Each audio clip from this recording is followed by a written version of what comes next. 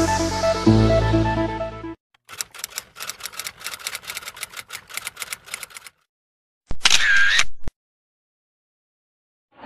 everyone, this is Labia Paris Panganiban. So, ito na naman guys. So, so kain tayo ng mangga.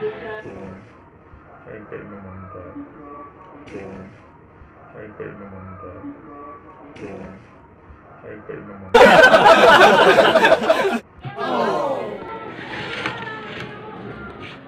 So yan guys, kung mapapansin nyo kahapon, gumawa ko ng Delgona coffee. So ngayon na naman, kumakain na naman ng mangga. Ang sarap.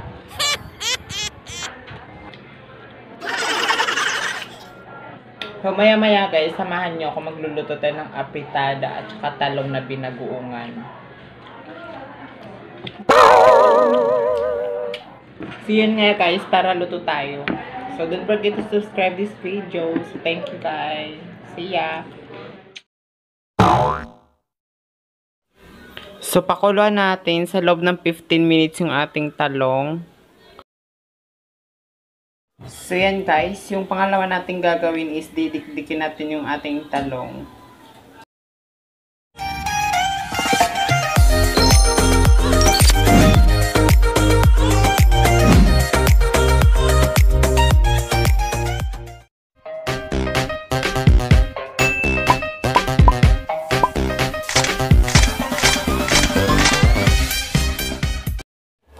So yan siya guys. So ang gagawin natin is lalagay na natin yung ating mga ingredients.